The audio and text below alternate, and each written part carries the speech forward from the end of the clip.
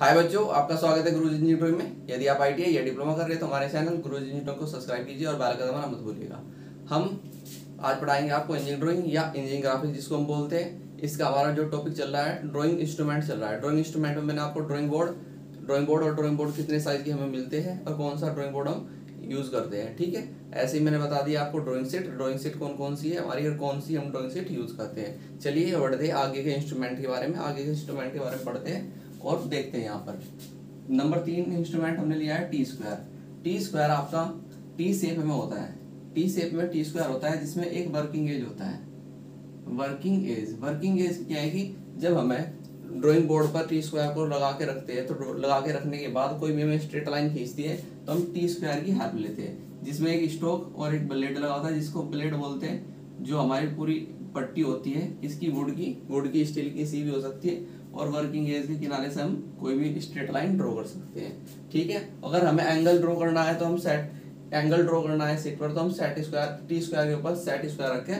Set square की help से कोई भी एंगल ड्रॉ कर सकते हैं। ठीक है? चलिए, अब हम देखते हैं सेट स्क्वायर टी स्क्वायर देख लिया आपने टी स्क्वायर इस टाइप का होता है आपका। ठीक है? इसका ज़्यादा मोस्टली यूज़ नहीं होता क्योंकि मिनी ड्राफ्टर यूज़ होने लगा है। सेट स्क्वायर सेट स्क्वायर क्या सेट स्क्वायर आपके एक 45 डिग्री का सेट स्क्वायर प्रयोग करते हैं, एक set square 30 degree to 60 degree का सेट स्क्वायर यूज़ करते हैं। जैसे मैंने यहाँ पर लिखा था most commonly used set square are 30 to 60 degree 45 degree to 45 degree.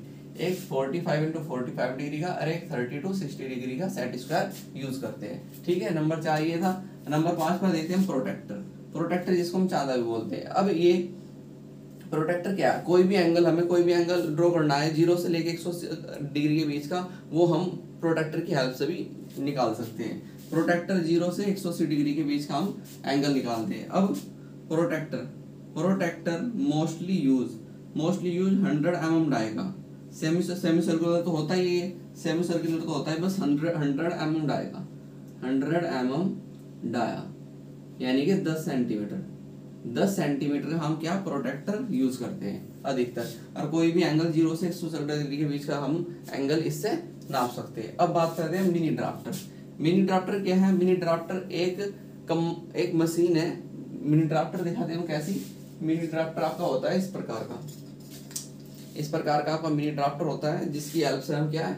जिसकी हेल्प से हम कोई भी कोई भी एंगल कोई भी स्केल हम ड्रॉ कर सकते हैं। सेट स्क्वायर यूज़ कैसे? मिनी ड्राफ्टर का use also is use to do working fast अगर हमें वर्क को फास्ट करना है, तेज़ी से करना है तो हम किसकी हेल्प लेते हैं? मिनी ड्राफ्टर की। ना कि टी स्क्वायर की और सेट स्क्वायर और प्रोटेक्टर की हेल्प क्योंकि ये सारे के सारे ही इसी अंदर इंक्लूडेड हो जाते हैं। कैसे? अब अगली लाइन देखिए। The serves the combined purpose ठीक है, ये कंबाइंड पर्पज के लिए टी स्क्वायर सेट स्क्वायर और प्रोटेक्टर एंड स्केल ये चारों का कंबाइंड एक रूप बनाया गया है मिनी ड्राफ्टर जिससे जिसकी हमें अगर हम मिनी ड्राफ्टर का यूज़ करते हैं, ना तो हमें टी स्क्वायर की आवश्यकता पड़ती है, ना सेट स्क्वायर की, ना प्रोटेक्टर की, और ना ही और ना ही स्केल की। अगर हम किसका यूज़ करते हैं? मिनी ड्राफ्टर का। अब ये इसीलिए लिखा गया है mini drafter save the time twenty five percent to fifty percent mini drafter की हेल्प से हम टाइम को सेव कर सकते हैं twenty five to fifty percent क्योंकि हमें बार बार ना तो हम सेट स्क्वायर टी स्क्वायर की आवश्यकता पड़नी है, ना सेट स्क्वायर की, ना प्रोटेक्टर की, ना स्केल की क्योंकि सारे काम ही हमारी मिनी ड्राफ्टर मशीन कर देती है। ठीक है, इसलिए हम मोस्टली अब क्या करते हैं? मिनी ड्राफ्टर का यूज़ करते हैं। अब बात करते हैं फ्रेंच कर्व फ्रेंच कर्व कहाँ यूज़ किया जाता है? फ्रेंच कर्व वहाँ यूज़ किया जाता है जहाँ पे हमें रेगुलर शेप के कर्व नहीं बनाने होते हैं। जहाँ पर इरेगुलर शेप के कर्व होते हैं, वहाँ पर हम किसका? फ्रेंच कर्व का यूज़ करते हैं। समझ गए? फ्रेंच कर्व कहाँ यूज़ किया जाता है? जहाँ पर इरेगुलर शेप के कर्व होते हैं। ना कि रेगुलर शेप के कर्व अगर रेगुलर शेप के कर्व है तो हम आपकी कंपस की हेल्प से भी या प्रोटेक्टर की हेल्प से भी कर्व बना सकते हैं। मगर इसीलिए हमारे बोला गया है, देखो French curve are use for drawing irregular curve जब इरेगुलर कर्व होते हैं, उनको इरेगुलर कर्व को देने के लिए हम किसका यूज़ करते हैं? फ्रेंच कर्व का यूज़ करते हैं। अब देखो which can not be draw the compass ठीक है?